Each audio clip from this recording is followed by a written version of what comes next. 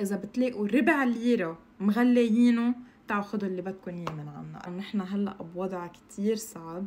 يمكن الأجيال اللي قبل كلهم مروا فيها وممكن هن يقدروا يوصلوا لكم بطريقة أفضل. بس نحن هيدا الجيل بالأخص ما كنا واعيين على الحرب اللي قبل بس واعيين نحن هلأ على هيدا الحرب.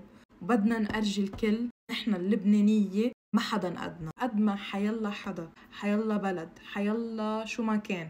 حاول يوقعنا نحن بنوقف على إجرينا وبنصير أقوى منهم. هذا الشيء اللي اللبنانية عم بمروا فيه صعب كتير.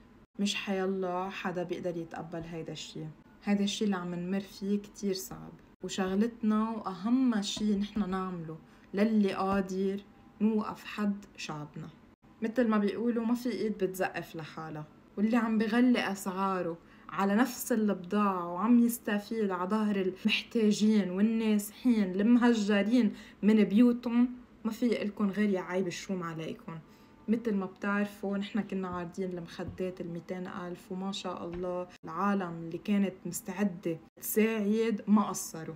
ما شاء الله خلصوا المخدات وأكيد نحن رجعنا غير العرض اللي كنا عاملينه وظبطنا لهم السعر لأنه هلأ نحن بوضع مش قصة ربح مفروض الكل يكون حد بعض. هذا اللي عم نمر فيه.